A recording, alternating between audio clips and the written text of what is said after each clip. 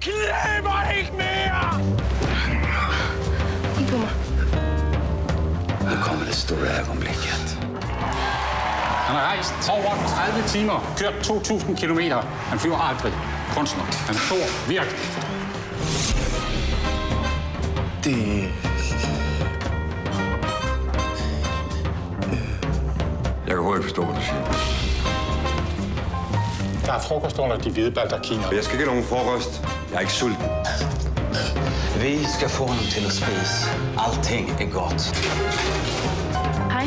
Skal du h- have hjælp med dem der?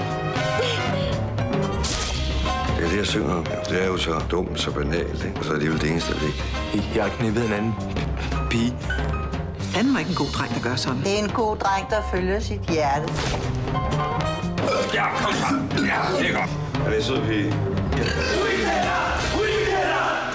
Der er ikke noget flovt ved at modtage psykiatrisk hjælp. Bare op med hagen, pigebarn. Jeg har selv været indlagt en gang.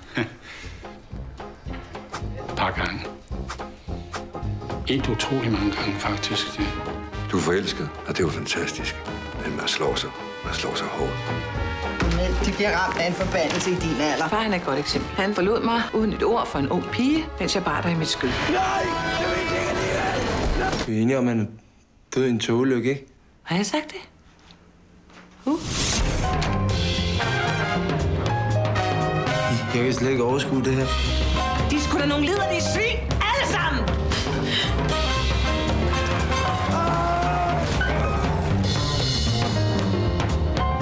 Der findes drenge, der findes mænd, og så findes der bjørne. Kan vi se det?